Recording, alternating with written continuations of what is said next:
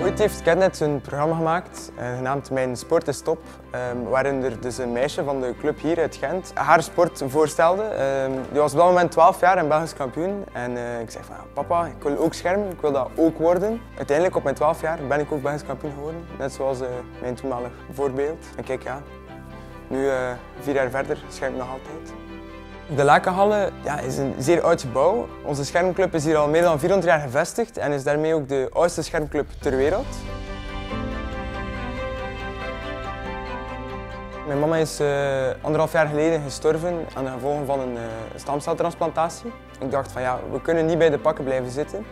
Ik heb dat gezegd aan mijn papa en aan mijn broer. Ik heb gezegd van ja, we moeten wel gewoon iets doen, want ik wil niet dat andere mensen dit ook nog um, hetzelfde lot moeten ondergaan.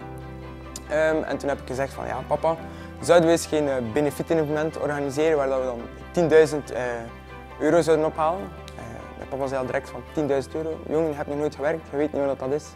Ik zeg van ja, nee, ik weet dat inderdaad niet, maar we kunnen maar proberen.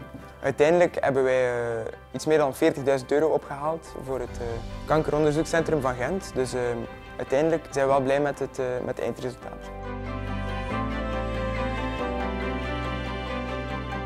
Mijn mama heeft me ook uh, vanaf dag 1 geholpen, ze heeft mij gesteund. Dankzij haar en door de inzet van mijn ouders en door de hulp van mijn ouders dat ik uh, uiteindelijk hier wel ben geraakt. Ik heb altijd gezegd vanaf dat ik zo groot was, ja, ik zal schermen tot ik wereldkampioen ben. Um, ja, ik kom nu steeds dichter en dichter bij mijn doel, maar uh, ja, ik denk toch wel dat ik het ook wel mag verleggen naar Olympisch kampioen. Of, of ja, toch wel zeker een medaille op de Olympische Spelen, dat is wel een, een hoofddoel van mij. Dus ja, we blijven trainen totdat we er staan.